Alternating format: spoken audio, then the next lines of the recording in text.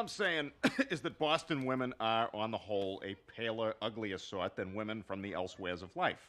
That's bullshit. What about Laurie? She's hot. No, Laurie's from Pennsylvania. It's not a Boston girl. They're not that bad. See, the fact that you have to say they're not that bad means that they are that bad. They, you, ever, you ever hear a Boston girl have an orgasm? Oh, yeah. Oh, yeah. Harder. Harder. Oh, God, that was so good. Now I'm going to stuff my fucking face with Pepperidge Farm. Jesus, this is weak. It's not even getting me high. I can have a talk with my weed guy. It's working for me. I think it sucks. I'm gonna have a talk with him. Yeah, I don't know that you want to go to a drug dealer with a complaint. No, this I know this guy a long time. I've known him since 9/11.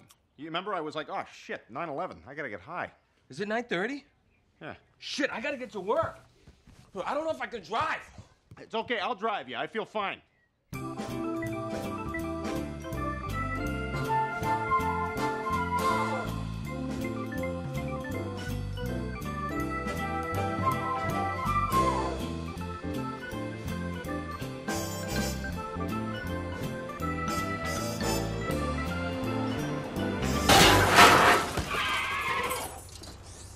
Fuck, shit.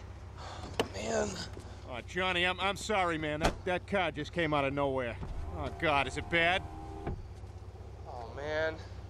John, may I speak with you, please? It's all right. Go, go, go. I'll, I'll pull out of here. Hi, Thomas. How are you?